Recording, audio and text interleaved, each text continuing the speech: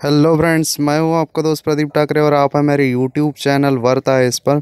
सो so friend आज के video में हम लोग डिस्कस करने वाले हैं ऑपरेशन नमस्ते जो कि इंडियन आर्मी ने लॉन्च किया हुआ है to contain the covid nineteen और गवर्नमेंट को इससे काफ़ी हेल्प मिलने वाली है।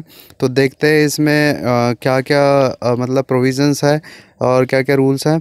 तो इंडियन आर्मी ने आर्मी ने जो है एक्चुअली ये ऑपरेशन लॉन्च किया है स्प्रेड ऑफ़ कोरोना वायरस को रोकने के लिए।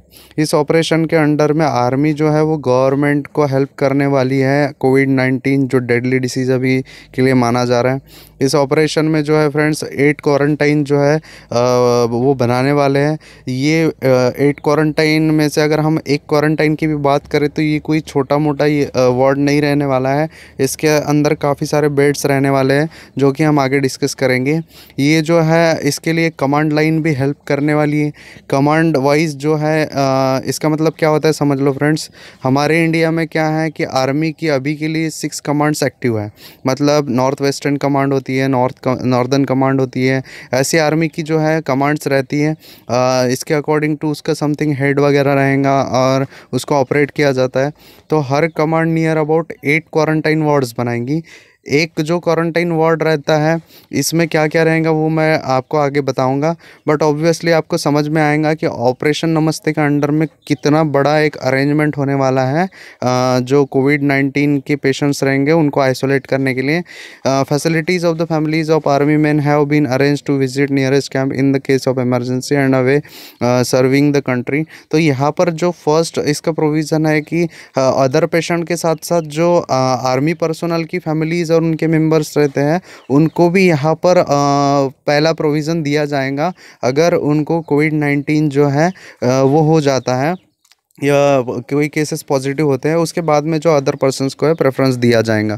उसके बाद में फ्रेंड्स यहाँ पर कुछ गाइडलाइंस आर्मी ने इशू की है ताकि जो आर्मी पर्सनल है उन वो ये सर्विस देते वक्त उस, उनको कोविड नाइन्टीन नहीं होना चाहिए और जो सोशल डिस्टेंसिंग है वो मेंटेन होना चाहिए इसलिए आर्मी पर्सनल और उसके बाद में वहाँ पर जो भी पेशेंट्स आएँगे उनके लिए भी ऑपरेशनल गाइडलाइंस कुछ कुछ दी हुई है जो कि सभी को वो फॉलो करनी पड़ेंगी।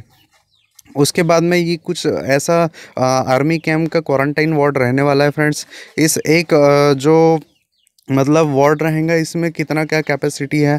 तो ओवरऑल मैं आपको अभी एक्सप्लेन कर देता हूँ।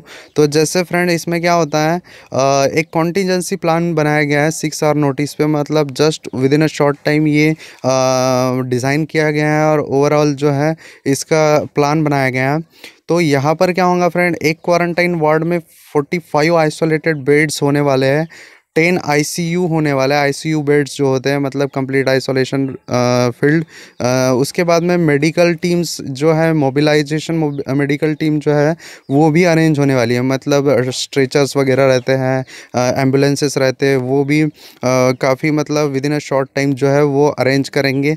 अभी इतना जो सब अरेंजमेंट दिख रहा है फ्रेंड ये ओनली एक वार्ड का है, एक वार्ड के लिए। ऐसे एट क्वारंटाइन वार्ड एक इसमें बनने वाले हैं, एक कमांड के अंडर में बनने वाले हैं। तो वैसे सिक्स एक्चुअल हमारे एक्टिव कमांड्स हैं और आगे चल के वो एट कमांड्स बनने वाली है आर्मी की। तो ऑब्वियसली इसको अगर हम मल्टीप्लाई करते हैं तो काफ़ी ज़्यादा बड़ी अरेंजमेंट ये बनने वाली है। ये आर्मी पर्सनल उनके फैमिलीज़ और साथ में जो अदर पर्सनस हैं कोविड नाइन्टीन से कंटेंट तो गवर्नमेंट के जो हॉस्पिटल्स और प्राइवेट हॉस्पिटल्स को काफ़ी हेल्प मिलने वाली है इससे। उसके उसके बाद में ये जो प्लान है ये आ, मतलब कोविड नाइन्टीन का स्प्रेड और कंटेन करने में काफ़ी हेल्प करने वाला है। उसके बाद में फ्रेंड उसके बाद में फ्रेंड्स ये प्लान कोई नया नहीं है. एक्चुअली मतलब इंडिया में फ़र्स्ट टाइम स्टार्ट नहीं हुआ है. इस टाइप के ऑपरेशन बहुत सारी कंट्रीज़ ने ऑलरेडी चालू किए थे. तो ये वन ऑफ़ द उन्हीं का हम लोग जैसे एक प्लान का एक मतलब जिसको आउटलाइन लिया हुआ है, ऐसा कंसिडर कर सकते हैं. बट ओवरऑल जो है ये काफ़ी हेल्पफुल रहने वाला है गवर्नमेंट के लिए, सभी सिटीजन्स के लिए और सभी लोगों के लिए. So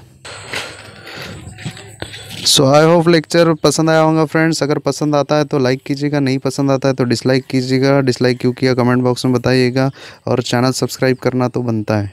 So thank you so much friends